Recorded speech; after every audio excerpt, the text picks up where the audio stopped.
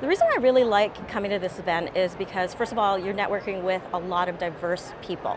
In specific industry conferences, it's all the same people over and over again. Here I've met people from insurance, from fintech, from health tech, you name it. I've gotten a lot of exposure to new ways of thinking. That's one of the main reasons. I say the second reason is probably because um, some of the topics that are covered here aren't covered in any traditional conference that I've been at, and I go to a lot of conferences. So it was just nice to talk about different things that women face in business and how we can overcome them.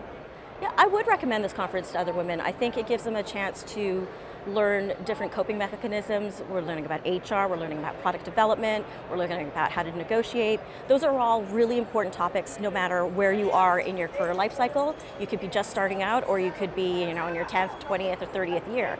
Those are skills that constantly need to be refreshed and having a new perspective on it is actually a good thing. I think if I had one takeaway from the conference, it would be um, don't be intimidated to talk to other people. Um, they're very welcoming. It's a very inclusive group of women.